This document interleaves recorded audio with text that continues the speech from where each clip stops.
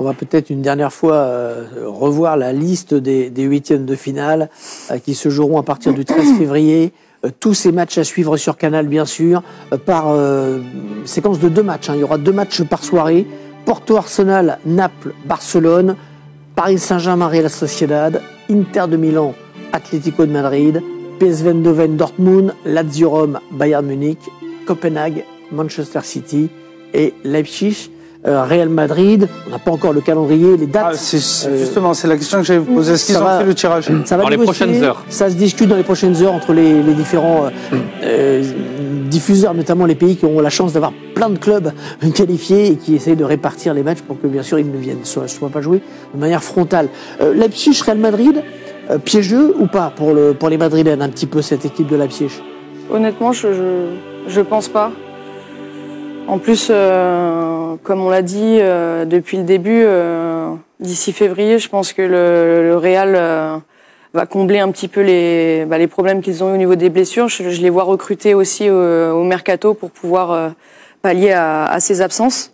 Et puis surtout, en février, je sais pas ce qui leur arrive. On a l'impression que le Real Madrid, ça se transforme en machine de guerre. Donc j'ai pas trop d'inquiétude pour eux. En fait, j'ai pas d'inquiétude pour les trois mastodontes. Mhm. Euh, que ce soit bon, City évidemment contre Copenhague, je suis pas très inquiète parce que même s'ils sont pas en forme en ce moment, euh, je pense qu'en février ils seront en pleine bourre comme d'habitude. Bayern aussi.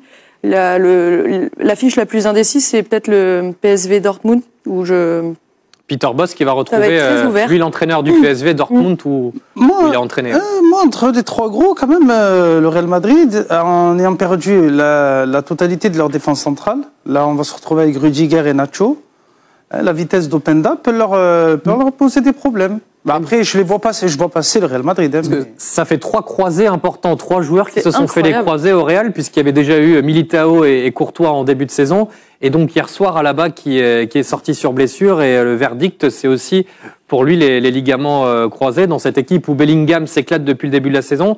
C'est vrai qu'il y a beaucoup de, de blessures euh, importantes, et surtout dans le secteur euh, Il n'y a, défensif. il y a pas de a défenseur central, ils vont devoir recruter. J'ai- Ancelotti a déjà commencé à dire que Chouamini peut jouer défenseur central, mais ça, ça a Ah, fait vont nous mettre Kamavinga, arrière gauche et Chouamini Kamavinga, défense il- centrale. Mais ça- tout faire. Non, ça- par contre, Vinicius et Kamavinga ont été annoncés de retour euh, à partir de, de janvier. Donc ça, c'est quand même la, la bonne nouvelle. Mais c'est vrai que dans le secteur défensif, dans l'axe Et c'est particulièrement, vrai qu'en l'absence de, de Courtois, ils n'ont pas non plus un gardien foufou hein, pour l'instant. Non, c'est c'est- Non. c'est soit Lounine, soit, soit Kepa. Donc, euh, quand non, on je pense les à vois- Courtois, Je les, je les vois passer, mais ça peut être piégeux des trois. En fait, c'est pour moi, c'est la confrontation la plus pi- Non mais piégeuse. Courtois, euh, il a franchement, il y a, il a eu les parcours, euh, il a été, c'est c'est pas, c'est à lui la Ligue des Champions la- l'année, il y a Notamment deux la ans. finale Ah contre non. Liverpool. ouais. Tout le de parcours. France. Tout, tout le parcours, Ouais. c'était, c'était dingue. Donc euh, oui, Mais- ça va être une grosse perte aussi pour les matchs coup près. Maison Bellingham euh, qui marche Ouais, il sur est énervant, lui. On va revoir les, les buts de Bellingham dans cette euh, phase de, de Ligue des Champions jusqu'à présent. Euh, quatre buts. Euh, il, est, il, il fait tout en fait. hein. On a du mal à situer ce garçon. Euh, là, c'est la version euh, buteur joueur de surface, c'est Pipo Inzaghi, mais, euh, Le renard. mais, euh, il peut également frapper de loin. Il a encore marqué hier en championnat. Il en a 17 buts en 20 matchs, toutes compétitions confondues cette saison, avec énormément de diversité euh, dans sa façon de marquer. Ouais, il peut marquer de loin aussi. Il a marqué des frappes. Il a marqué en championnat hier de la tête. Ouais, c'est un, mec- c'est un mec qui sait un peu tout faire. Et puis surtout, il a fait aussi des passes décisives. Là, c'est sa frappe en dehors de la surface. Tout est facile un peu pour lui. C'est ouais. C'est un Anglais. Mm. Et comme dit le dicton, sky is the limit, pour lui, c'est ça, en fait. hein. Et euh, non, il a pris une vraie. euh, c'est devenu un autre joueur au Real de Madrid. Ah oui, le oui. fait d'être dans un, dans un club aussi prestigieux. Après, on l'utilise dans un rôle un petit peu différent, vu qu'avec la perte de Karim Benzema et le recrutement seulement de, de Rossellou en, en, en termes d'attaquant, il joue cette position de numéro 10 avec deux faux, atta- euh, deux, deux faux attaquants, que ce soit Vinicius ou, ou Rodrigo. Et ça lui permet d'être euh, dans la zone de finition. Et non, bien. c'est Real de Madrid va très loin. C'est un futur favori pour le Ballon d'Or, lui. Ouais. Si on continue à, à prospecter les, les mastodontes, comme euh, Laure les, les appelle, euh, le Bayern qui jouera donc la, la Lazio. Lui aussi, le Bayern a un joueur qui, euh, qui casse tout en ce moment, c'est Harry Kane. Euh, la greffe a complètement pris hein, du côté de, de la Bundesliga pour Harry Kane. Il a montré que euh, finalement il savait s'adapter à un nouveau contexte. Hein. Oui, oui, parce que c'est c'est un joueur moderne. Et on avait aussi pour expérience que les joueurs anglais s'exportaient très mal. Mais là, on a un parfait exemple, que ce soit avec lui ou Jude Bellingham, qui peuvent jouer dans d'autres championnats. Et euh, ça n'a pas été évident parce qu'il a été, euh, il vient, il vient de l'académie des, euh, des, Spurs. Il a fait énormément d'années là-bas et le fait d'aller en Allemagne, on pensait un petit temps d'adaptation comme ça. Joe Mané a pu l'avoir au Bayern de Munich. Mm. lui, non, il a de suite marqué et, et la, la, greffe a bien pris. Le dénominateur commun avec Bellingham, c'est que je pense que c'est des joueurs qui sentent euh, très bien le jeu, qui ont une intelligence de jeu euh, pour moi au-dessus de la moyenne. Donc c'est vrai que quand ils arrivent dans une équipe, ils arrivent rapidement à, à choper les codes euh, de leurs partenaires pour savoir exactement dans quelle situation appeler le ballon en profondeur, décrocher, etc. Ils ont un instinct qui est, qui est très intéressant. Vous voyez l'affiche en visuel derrière nous, Lazio, Rome, Bayern, Munich. Déjà une affiche des huitièmes de finale en, en, 2021. Il y, a, il y a trois ans, face à une équipe de la Lazio qui, elle, est sorti euh, de son groupe euh, cette saison, qui retrouve les huitièmes de finale, où évolue d'ailleurs Matteo Gendouzi, mm. mais qui n'est pas non plus dans la saison de sa vie, hein, qui n'est que 11e en, en Serie A et qui a perdu euh, beaucoup de matchs depuis le début de la saison. Et qui a été battu à domicile hier par, par l'Inter 2-0. Gendouzi est en train de devenir titulaire, j'ai l'impression. Il joue de plus en plus souvent quand même. Oui, il joue de plus, il joue de plus en plus souvent. Euh, il a fallu aussi un temps d'adaptation. Après, c'était une, une, volonté de la part de Sarri de l'avoir. Donc, euh, il faut s'adapter au style Sarri.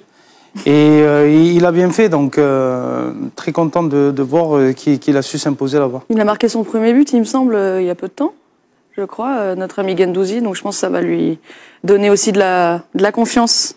Lazio Bayern, l'une des affiches de ces huitièmes de finale dans lesquelles, je vous le rappelle, le Paris Saint-Germain sera confronté à la Real Sociedad de San Sebastian.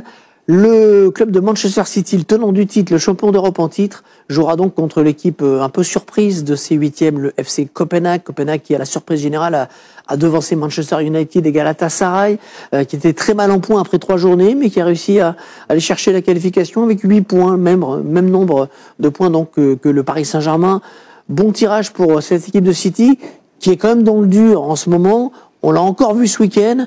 Là, on a quand même... Euh vraiment le milieu de terrain qui a, qui a complètement disparu. Euh, il y a eu des recrues, les nouveaux joueurs ont mis un certain temps à s'adapter, surtout au milieu de terrain. Je ne parle pas de l'intégration fulgurante de, Doku, mais ils ont quand même perdu Marez, ils ont perdu Gundogan, ils ont perdu des joueurs cette, cette saison. La blessure de De Bruyne aussi. Mais je pense qu'avec le retour de De Bruyne et de Haaland, et si euh, Rodri est en parfaite santé, je pense que cette équipe de City euh, ira très loin encore. Puis Doku qui est là aussi, on le voit derrière, euh, derrière vous. C'est vrai que lui, c'est un petit peu la, euh, l'arrivée qui fonctionne bien du côté de City. Donc il y a aussi des points positifs. Je pense que quand tu gagnes trois titres la saison d'avant, il y a toujours une période où tu ronronnes un peu et j'imagine que là, en 2024, ils vont passer à autre chose et, et remettre la marche avant. Une dernière fois, les huit affiches, huit affiches de ces huitièmes de finale de, de Ligue des Champions. Porto, Arsenal, Napoli, Barça, PSG, Real Sociedad, quand ça a été tiré, il restait quand même les, les sur les cinq qui restaient, il y avait euh, le Real, euh, le Bayern les trois. et euh, City, Inter de Milan, Atlético de Madrid, PSV Eindhoven, Dortmund, Lazio Rome, Bayern Munich, Copenhague City, Leipzig, Real. On va peut-être rappeler les dates, Gauthier, même si on n'a pas encore le, le, calendrier définitif et le jour auquel joueront chacun des, des clubs.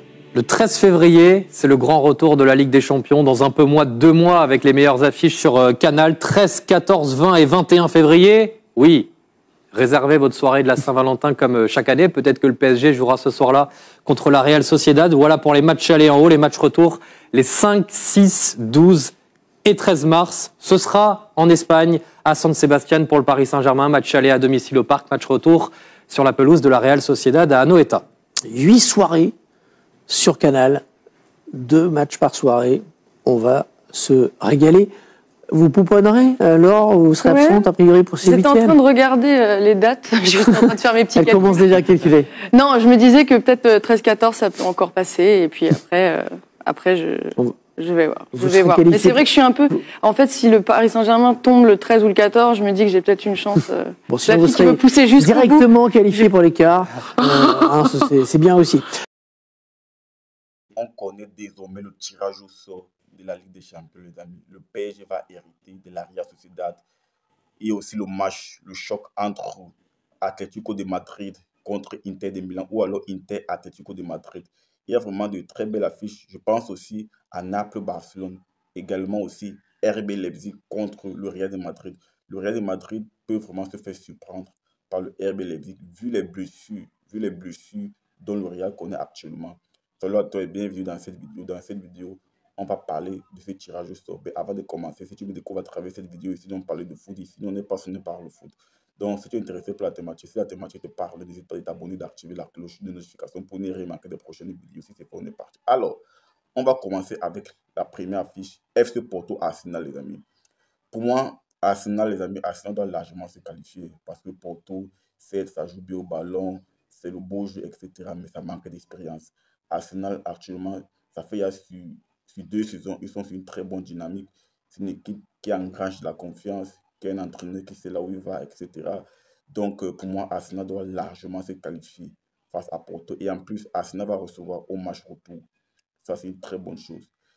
Tu as également Naples-Barcelone. Naples-Barcelone, les gars, c'est un choc. Et Barcelone, vu la forme de Barcelone, franchement, je suis un peu inquiet pour Barcelone. Certes, nous sommes encore en décembre, les réalités de décembre ne sont pas celles de février. Je suis d'accord avec toi, mais vu ce qui se présente, vu ce qui se dégage actuellement du côté du Barcelone, je ne suis pas rassuré. Je ne suis vraiment pas rassuré par le Barça.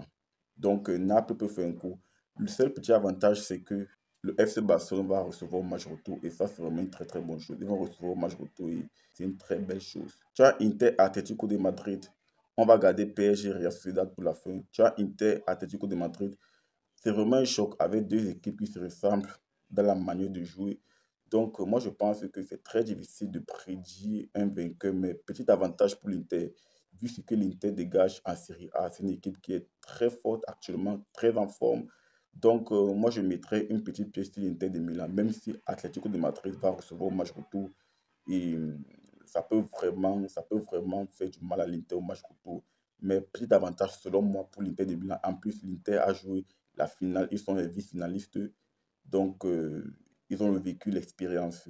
PSV Dortmund, c'est un match pour moi homogène, un match ouvert. Je vois quand même Dortmund passer. Je vois Dortmund passer, même si je pense que le PSV va peut-être donner du fil à retordre à Dortmund, mais je vois un Dortmund passer parce que Dortmund a quand même de l'expérience par rapport à cette équipe du PSV. Donc, euh, je vois Dortmund passer. Lazio Bayern de Munich, pour moi, il n'y a pas fauteuil. Le Bayern de Munich va battre Lazio aller-retour aller-retour. Ils vont battre la Lazio, aller-retour, avec Harry Kane. Harry Kane qui est dans une forme excellente, une forme de sa vie, une équipe du Bayern de Munich qui roule, qui roule sur tout le monde en Ligue des Champions. Franchement, je vois mal la Lazio les barrer la voie. Donc, euh, moi, je vois une victoire du Bayern de Munich, aller-retour. Copenhague, Manchester City. Je vois une équipe de City battre Copenhague aller-retour. Je pense même que c'est la demi-finale la plus déséquilibrée Copenhague, Manchester City. C'est très déséquilibré même. Si tu vas battre Copenhague à leur retour. Même si Copenhague est sorti de la poule de, de Galatasaray, Manchester United. Mais je trouve que Manchester United, c'est très très faible. Manchester United. Donc, euh, pour moi, Copenhague, Copenhague, c'est très en dessous de Manchester City. Et je vois City battre largement, largement cette équipe de Copenhague.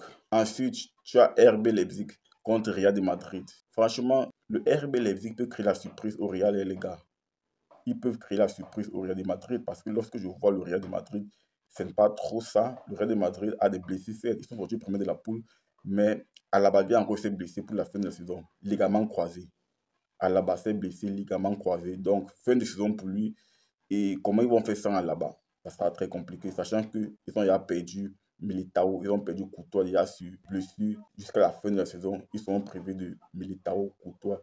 En plus cela, s'ajoute encore à la bas c'est très compliqué pour le Real de Madrid. Le Real de Madrid, il faut louer le travail de Carlo Ancelotti. Carlo Ancelotti, malgré les blessures, il arrive toujours à trouver un équilibre, la solution pour parler ces blessures-là.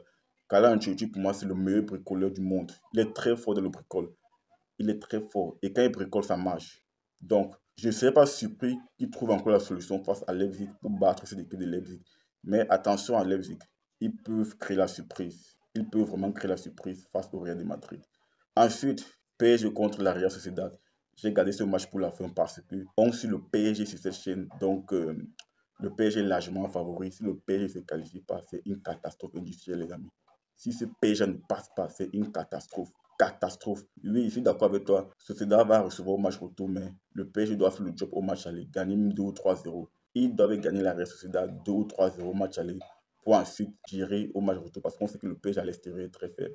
Donc, euh, ils ont la marche. Ils ont la marche. Et si le ne se qualifie pas, c'est une catastrophe industrielle. Donc, euh, voilà mon pronostic par rapport, par rapport au tirage au sort. Donne-moi le tirage en commentaire. Donne-moi tes pronostics en commentaire. Et si ce n'est pas encore fait, n'hésite pas à t'abonner, d'activer la cloche de notification pour ne rien manquer des prochaines vidéos. Sont se dit à très bientôt pour notre vidéo, les amis. Ciao, ciao.